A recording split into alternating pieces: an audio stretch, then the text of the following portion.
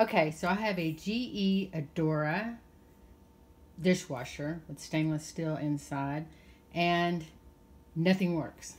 Nothing. No buttons. No buttons work. Uh, our electricity's been flickering and I think it has something to do with it.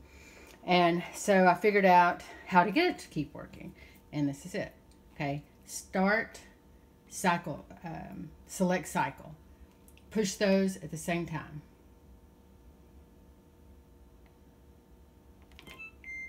Ta-da! It comes back on. Okay.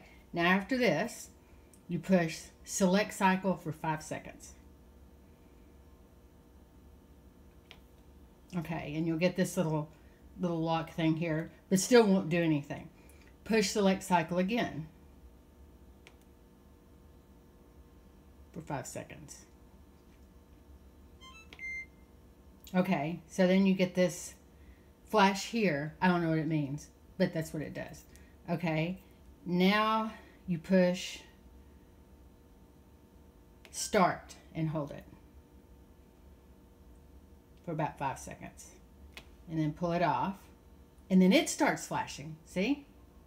It starts flashing. I don't know what it means but that's what it does. Okay now you hold these two down again for about five ten seconds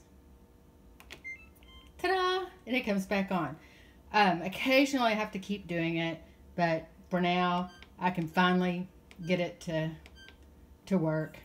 And uh, ta-da! It works